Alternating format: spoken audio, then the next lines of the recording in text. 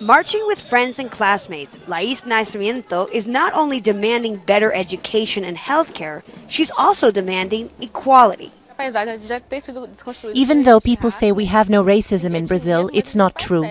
We are the majority of the population, but we don't have economic or political power. Like most people in the state of Salvador, Lais is Afro Brazilian. But unlike many of her fellow protesters, she didn't grow up in a middle class family.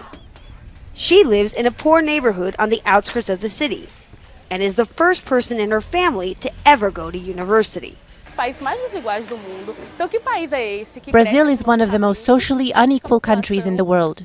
We're selling the image that everything is good and will host a World Cup, but it's a country that denies opportunity to its own people. Brazil has the biggest black population of any country outside Nigeria. Colonized by the Portuguese, over 10 million African slaves were sent here. Salvador was the capital of the slave trade in Brazil, and Brazil was the last country in the Americas to abolish slavery.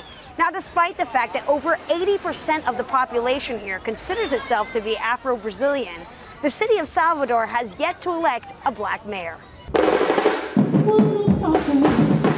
Although Afro Brazilian culture is celebrated throughout the country and internationally, statistically, blacks here suffer the worst when it comes to access to education, healthcare, and high paying jobs. Even with such inequalities, Professor Fabio Lima says fewer blacks than whites are going to the protests.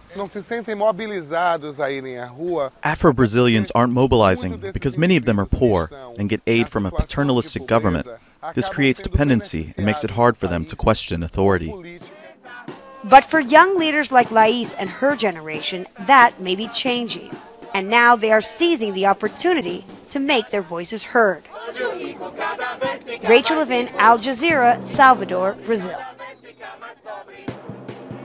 For more information, visit www.afroworldnews.com, the only news network to highlight all news about Africa and Africans worldwide.